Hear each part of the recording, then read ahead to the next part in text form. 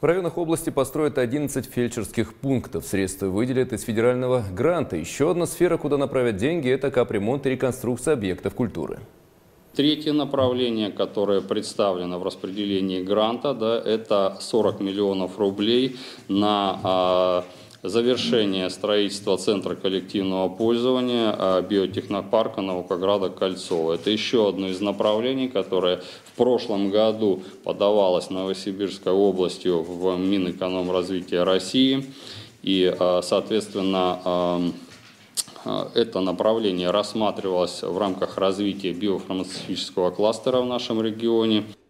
Кроме того, наша область получит дополнительное финансирование из федерального бюджета. Большая часть этих средств потратят на переселение граждан из ветхого и аварийного жилья. 250 миллионов заложено на строительство детских садов. Еще одна статья расходов обеспечения населения льготными лекарствами. Поправки в региональный бюджет рассмотрят на очередной сессии законодательного собрания.